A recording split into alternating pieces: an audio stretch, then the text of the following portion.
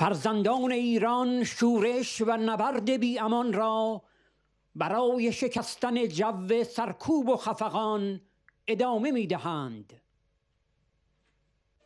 تهاجم به بنیاد قارت و فساد. اصفهان یک شنبه 28 اردیبهشت 99 کانون شورشی 580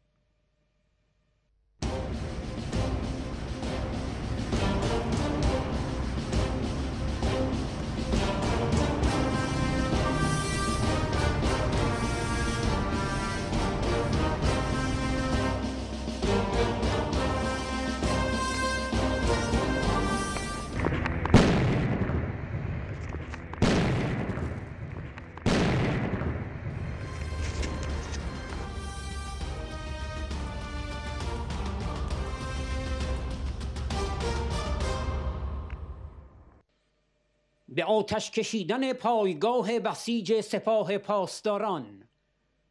اصفهان یک شنبه 28 اردیبهشت 99 کانون شورشی 610